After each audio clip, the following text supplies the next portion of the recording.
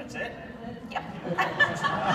She's a brilliant food scientist. She's being very humble. So I'm, I'm Michael Seidman, and I'm so happy to see that some people are interested in the science behind the products. It's wonderful. Uh, I did my undergraduate degree in human nutrition from the School of Public Health at University of Michigan.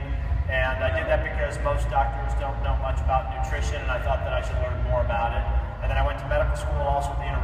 Michigan, I was designing supplements and nutrients for about 26 or 27 years now, realizing that what we get in the real world outside of here is not very good for us. And so I've been formulating and designing nutritional supplements for years. Uh, I now work for one of the largest health systems in the Midwest.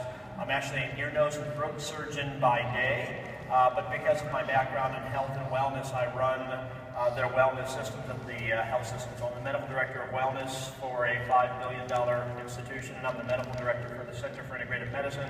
I do a lot of nutritional healing with uh, professional athletes from the Red Wings to the Lions to the New York Giants, um, and have advised uh, some of our uh, major professional health teams on how to enhance health and performance safely, effectively, and legally. And I now do the same for Vital Sciences.